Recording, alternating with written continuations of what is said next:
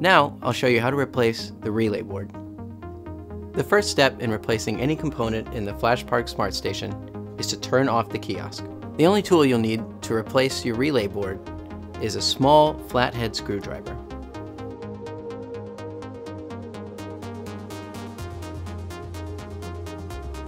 Unplug this USB cable on the left and to disconnect the power from the top of the relay board.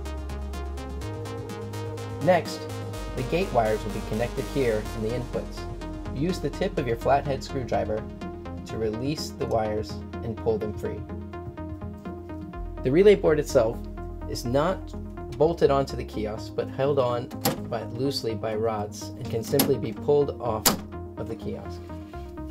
So once you have your replacement relay board from your FlashCare maintenance kit, simply replace it on the rods that hold it in place by aligning the rods with the mounting holes on the relay board and pushing firmly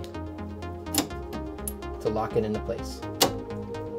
Reconnect the gate wires that were disconnected from the input terminals, again by using the tip of your flathead screwdriver to press the releases and push the wires into place.